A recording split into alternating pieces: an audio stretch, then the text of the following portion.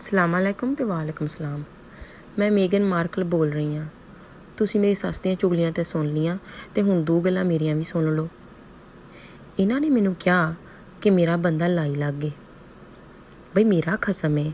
ਮੇਰੇ ਨਾਲ ਲੱਗੇ, ਮੇਰੇ ਥੱਲੇ ਲੱਗੇ। ਇਹਨਾਂ ਨੂੰ ਕਾਹਦੀ ਮੁਸੀਬਤ ਪਈ ਹੈ ਇਹਨਾਂ ਤਾਂ ਉਹਨੂੰ 5 ਸਾਲ ਦਾ ਕਾਕਾ ਬਣਾ ਕੇ ਰੱਖਿਆ ਸੀ। ਤੇ ਹੁਣ ਵਿਆਹ ਤਾਂ ਜੇ ਉਹ ਬੰਦੇ ਦਾ ਪੁੱਤਰ ਬਣਨ ਨਹੀਂ ਲੱਗਾ ਹੈ ਤੇ ਇਹਨਾਂ ਨੂੰ ਕਾਹਦੀਆਂ ਮਿਰਚਾਂ ਲੱਗਦੀਆਂ ਪਈਆਂ ਨੇ? ਫਿਰ ਇਹਨਾਂ ਨੇ ਕਿਹਾ, ਬਾਦਸ਼ਾਹਤ, ਤੇ ਪ- ਇੰਨੇ ਪੈਸੇ ਛੱਡ ਕੇ ਤੇ ਕੈਨੇਡਾ ਚੱਲੇ ਨੇ। ਤੇ ਤੁਸੀਂ ਮੈਨੂੰ ਦੱਸੋ ਇੱਕ ਗੱਲ, ਜਿੱਥੋਂ ਮੈਂ ਆਈ ਆ, ਉੱਥੇ ਤੇ ਇੱਕ ਜੋੜੇ 'ਚ ਅਸੀਂ ਪੂਰਾ ਸਾਲ ਕੱਢ ਲਈਦਾ ਹੈ। ਤੇ ਅਸੀਂ ਇਹਨਾਂ ਦੀ ਬਾਦਸ਼ਾਹਤ ਨੂੰ ਅਗਲਾਣੀ ਹੈ। ਦੂਜੀ ਗੱਲ ਇਹਨਾਂ ਨੇ ਮੈਨੂੰ ਕੀਤੀ ਕਿ ਦੁਰਾਨੀਆਂ ਜਠਾਣੀਆਂ ਨੇ ਕੁੱਟਖਾਨਾ ਬਣਾਇਆ ਹੋਇਆ ਹੈ। ਤੁਸੀਂ ਮੈਨੂੰ ਇੱਕ ਗੱਲ ਦੱਸੋ, ਅੱਜ ਦੇ ਜ਼ਮਾਨੇ 'ਚ ਤੁਹਾਨੂੰ ਕਿਹੜੀ ਦੁਰਾਨੀ ਜਠਾਣੀ ਮਿਲਦੀ ਜਿਹਨੇ ਕੁੱਟਖਾਨਾ ਨਹੀਂ ਬਣਾਇਆ?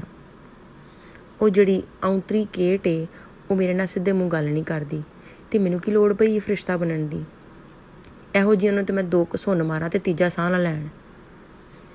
ਫਿਰ ਇਹਨਾਂ ਨੇ ਕਿਹਾ ਕਿ ਮੈਂ ਕੱਲੀ ਆ ਤੇ ਬੇਨਸਲੀ ਆ ਤੇ ਕਮ ਸੇ ਕਮ ਮੈਂ ਇਨਸਾਨ ਤੇ ਲੱਗਣੀ ਆ। ਕੋਈ ਮੈਂ ਬੂਰੇ ਵਾਲਾਂ ਵਾਲੀ ਮੱਝ ਤੇ ਨਹੀਂ ਲੱਗਦੀ। ਤੇ ਮੈਂ ਇਹਨਾਂ ਨੂੰ ਇੱਕ ਮਸ਼ਵਰਾ ਦਵਾਂਗੀ ਕਿ ਤੁਸੀਂ ਹੁਣ ਨਾ ਅੱਲਾ ਦਾ ਨਾਮ ਲਿਆ ਕਰੋ। ਕਬਰੇ ਤੁਹਾਡੀਆਂ ਲੱਤਾਂ ਨੇ ਤੇ ਚੁਗਲੀਆਂ ਨਾ ਕਰਿਆ ਕਰੋ।